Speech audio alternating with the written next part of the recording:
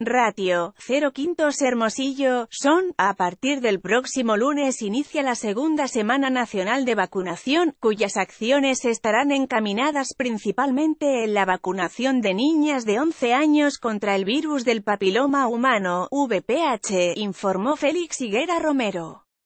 El subsecretario de Salud detalló que la última semana de mayo se lanzará la convocatoria para la vacunación universal, que es donde se contempla la del VPH, la cual protege algunos de los tipos de este virus y el cáncer. Es muy importante esta vacuna porque está fuertemente relacionada con el cáncer. Es una enfermedad que se tiene por diversos métodos y debe prevenirse de enfermedades tan graves en el futuro como puede ser el cáncer, explicó el funcionario. En el país desde 1980 se iniciaron las Semanas Nacionales de Vacunación que en un principio se llamaron fases intensivas de vacunación y su objetivo principal siempre ha sido proteger la salud de la niñez.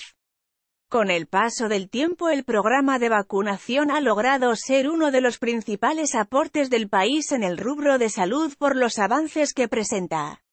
Durante el año, se llevan a cabo tres semanas nacionales de salud. La primera se enfoca en la vacunación a niñas y niños de 6 a 59 meses de edad contra la polio y se realiza la última semana de febrero. Será hasta la primera semana de octubre cuando se realice la tercera Semana Nacional de Salud, en donde el objetivo es aplicar las vacunas contra el sarampión, viruela y parotiditis a niñas y niños de 6 años de edad. Así como la vacuna contra el VPH a niñas de 11 años de edad y la aplicación contra la polio a menores desde los 6 a los 59 meses de edad. XPMMEJMAY 2018